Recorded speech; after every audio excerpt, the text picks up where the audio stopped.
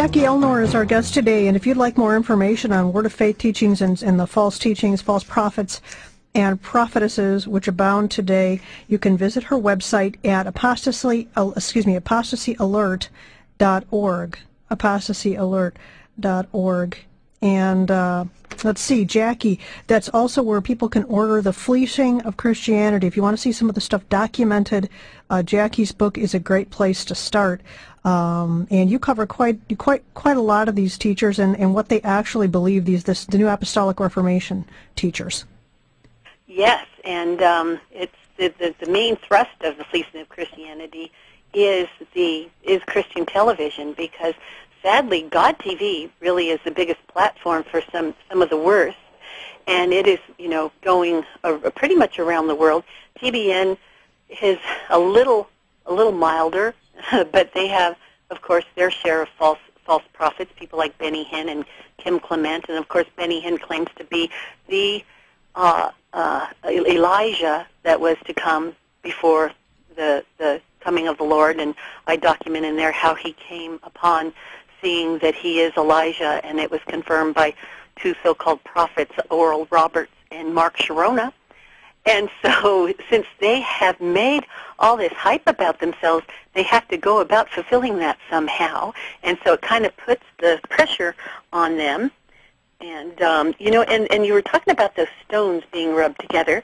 There's been recent so-called uh, manifestations in which coins, I mean, excuse me, not coins, but gold gems have so-called fallen in um, in, in these meetings that they have, and people's teeth turning to gold, and uh, gold dust falling on people, and angels. All of these uh, supposedly comes about through their angels. Each of them have a personal angel. Todd's angel is Emma. Oh yeah, that's a spirit guide for all of you that don't know about the New Age. Uh, uh your own personal angel. It's called Spirit Guide. Mm-hmm. Emma. Yeah, Emma, and she supposedly was also the same angel who produced the miracles for um, William Branham, and uh, was always there, and he couldn't do any miracles until the angel showed up. Hmm. And so, you know, they're they're they're promoting this. He has uh, another man uh, from the Elijah List group, which is you know the umbrella group for all of most of these false prophets. Um, his name is David Herzog, and his ministry, so-called, is called the Glory Zone. I mean, basically, they're a bunch of Simon the magician, you know, Simon the sorcerer from the Book of Acts, where they everybody thought, oh, he's doing the great things of God, when actually they're they're claiming all kinds of things for themselves. And he, this guy, David Herzog, was one that did fundraising for Todd Bentley. Um, he would tell people that you know if they if they give, then he's going to have his angel of finance bring them money, and he he's got these angels of finance he sends out to the four corners of the globe mm. to bring him money, and so the glory zone claims to have you know um, miracles associated with it, including instant weight loss.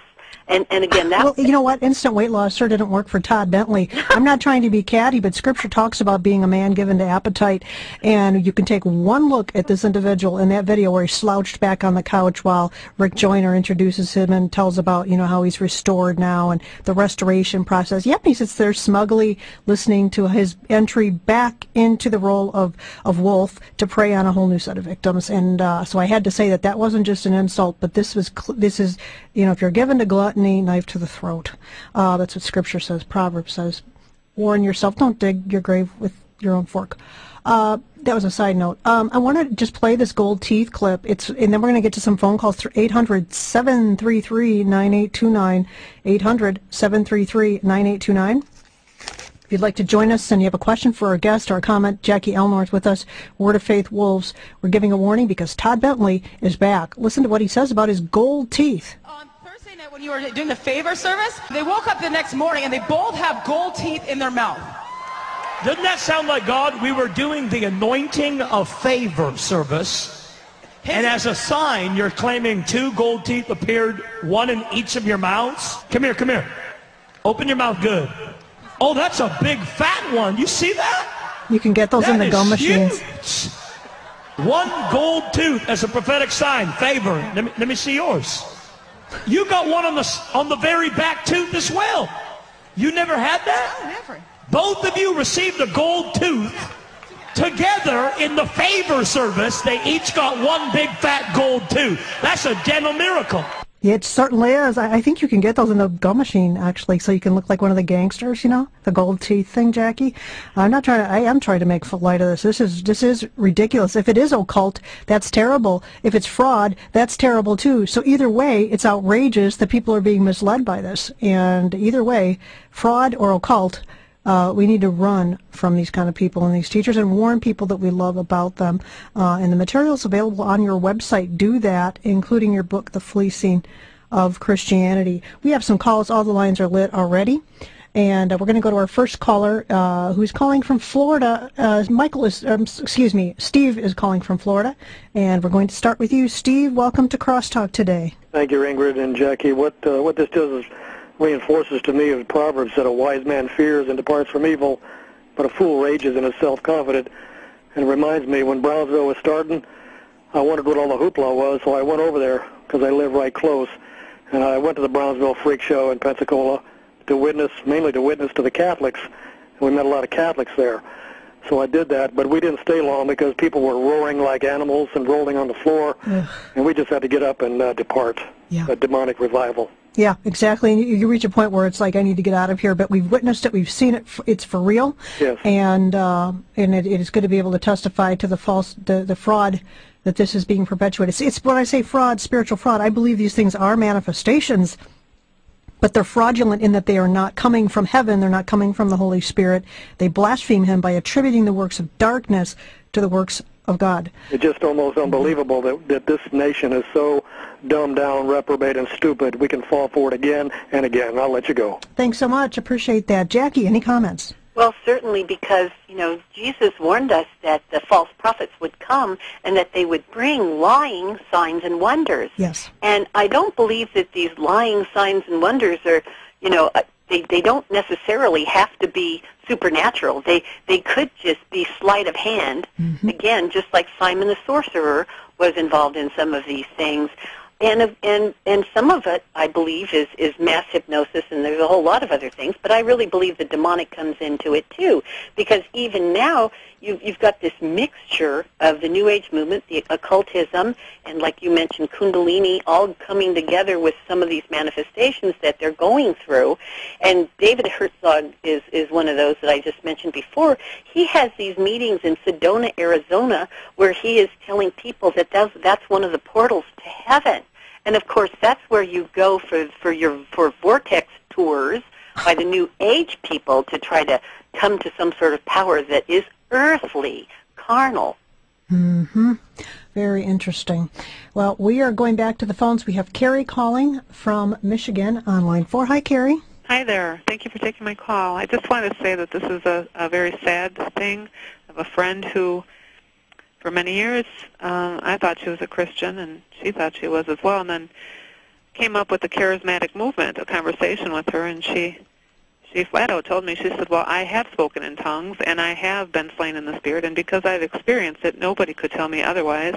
Mm-hmm. Her And- experience being the uh, the final arbiter of truth. Right, and then she said, you know, that um, when I told her, well, don't you believe that God has preserved His Word in the Bible? She said, I think God has made a Bible for everyone. Oh boy. Yeah, it was really sad. But you know, it's it's hard because she has stopped her ears. Mm-hmm. They do. They do. There's something about this particular movement. It, it does. There, it's it's. There's a lot of pride in this. I've noticed this about those that really are, are are believers in this, and they will attack you viciously and even curse you because you're working quote against the work of God or touching His anointed. Uh, Jackie, I'm sure you've heard all of those uh, accusations. Most certainly. And something that she said, you know, that this girl talks about how she was slain and knocked down. I have, have, have, oh, I have a list of people that I've heard from who have gone to some of these meetings and who have had nothing but fear and the spirit of fear come upon them as these things happen to them. Uh, manifestations, this one girl said this, this, this, one of these apostolic guys uh, tapped her on the back of the head, and she felt like a lightning bolt hit her with the agony and the pain of it, and she began to throb on the floor. And she has been in a constant state of having to pray against these ugly manifestations that that have come up. Her husband had the same situation. Many of these people who have had this so-called transference of spirits, these people say, oh, we're going to give you the impartation of this spirit. And of course it's a spirit with a small s. But the thing is, is that when they do these impartations, if a person is, isn't, I believe, protected by the truth, the, the person who has the truth, those who are seeking the truth in all the wrong places are really going to be very terribly uh, injured, and it causes them havoc in their lives for, mm-hmm. for years to come. This is the fire that I was talking about earlier. It's nothing to fool with, and uh, don't go as a curiosity seeker. I don't recommend that. Uh, I went because another speaker at this conference uh, was a well-known evangelical evangelist, and uh, we were concerned to hear what he had to say. Well, it turned out he wasn't speaking that night; someone else was, and that is how we came in contact with John Avanzini.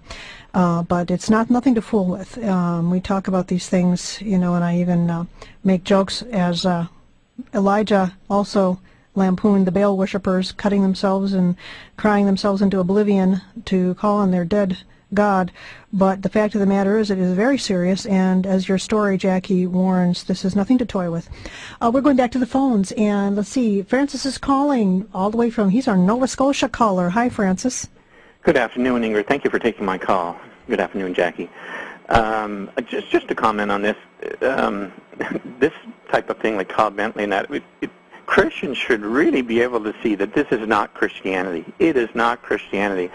And um, I remember one time going to um, a full gospel church, and I'm not slamming any denomination or any Christian, but uh, I went with a friend of mine, and uh, there was a guy who, who gave a message, and he wore white shoes, and he kind of had a Jimmy Swaggart type presentation. And at the end of the service, he said to people, if you want to touch from God, come forward. And I remember leaving the church that night saying to my friend, why would we need a touch from God when we have God? Hmm. We have Christ living within us. And just a quick scripture here. Jesus said to the disciples on the road to Emmaus, O fools and slow of heart to believe all the prophets have spoken, ought not Christ to have suffered these things and to enter into his glory? And beginning at Moses and the prophets, he expounded unto them in all the scriptures the things concerning himself. It seems to be an emotional response from some of these believers because they say a little bit later on, did not our hearts burn within us? Mm. Well, he talked with us by the way, and he opened us up to the scriptures. Christians, and I say this to myself, if you want to enter into a relationship with God, then go to the scriptures. And you want to grow in knowledge of Christ, go to the scriptures. And I, I just amazed. And my question would be to you, why this insatiable thirst for mysticism on the part of even Christians? Yeah. Is, is the Word of God not enough? Yeah. Yeah. Thank you. Thank you so much, Francis. And we're going to let uh, our guest answer that. I think we're going to have to take a break right now. And when we come back, we'll have Jackie respond. Why this insatiable thirst for mysticism? Uh, we'll address that right after the break and take some more calls.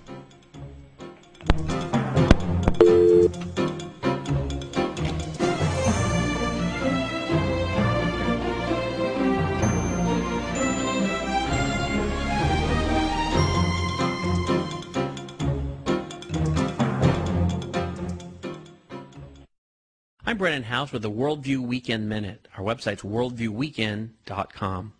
Reverend Jim Wallis and Glenn Beck, I believe, are both pushing social justice and an earthly kingdom.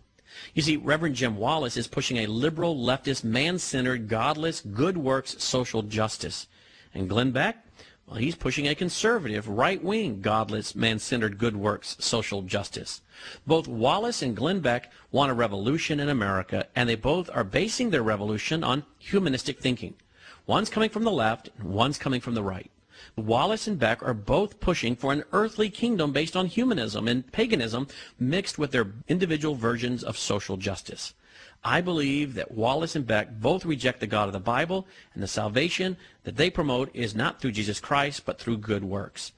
For more information on understanding the dangers of what happened at the 828 rally of Glenn Beck, our website's worldviewweekend.com.